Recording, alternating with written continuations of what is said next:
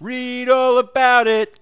Seven, eight, nine. The numbers were frantic all running around, 'cause today number nine was nowhere to be found.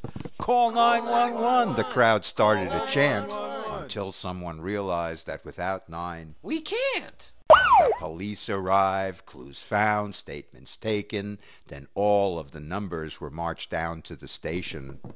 They paraded the numbers out under the lights, and the sergeant proceeded to read them their rights. One of you knows a lot more than you're saying. I'll get to the truth. It's no game that I'm playing. Seven, step forward, stand straight, face the lights. Okay, seven, turn to the left. Now turn to the right. Look, we got a call ate nine. It came into the station. It's a lie, yelled Seven loudly, meant to harm my reputation. I did no such thing, Inspector. I was bowling with the guys. Four and eight and two were there. We've got airtight alibis. They questioned all the numbers, more you'll ever know, but they caught nobody lying, so they let the numbers go. The numbers all were tired by the time they were released, but the press just wouldn't let them rest. They'd become celebrities.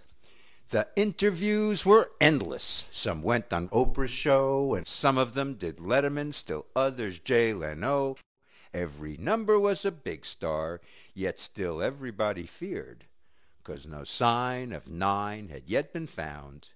He had simply disappeared. Now every day just got worse with no nine in the system. Everybody came to realize just how much they really missed him. The calendars were worthless. Wall Street couldn't sell their stocks. And talk about confusion. Just look at all those clocks. Baseball's now eight innings and impossible to score. Prices had to be adjusted. Some got less and some got more. Nothing now was working right. No one was having fun. The world was going crazy. Something had to be done. The inspector then remembered something he thought he saw. Bring them all back in, he said. After all, I am the law. And when they'd reassembled, he knew what he had found. He said, Okay, six, step forward. And six, please turn around.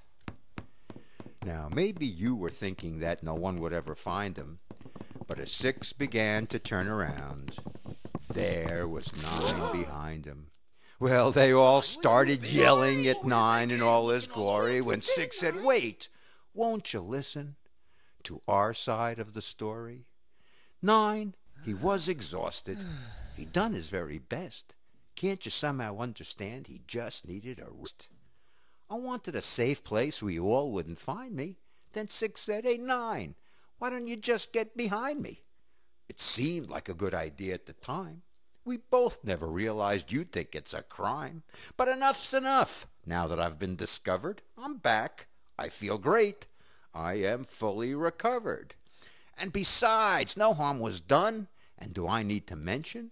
All the other numbers got a little extra attention. Yep, sure did. Right then the inspector proclaimed with a flick of his wrist, There's no criminals here. This case is dismissed. Well, all started cheering together in perfect rhythm. They all were so happy that Nine was back with them. They threw a big party. It was not very formal. To celebrate that soon, they'd be back to normal, and the next day there was a giant headline. And all it said was, in big letters, Nine's fine. Epilogue. The numbers all thought that Nine was a hero, back in his place between the eight and the zero.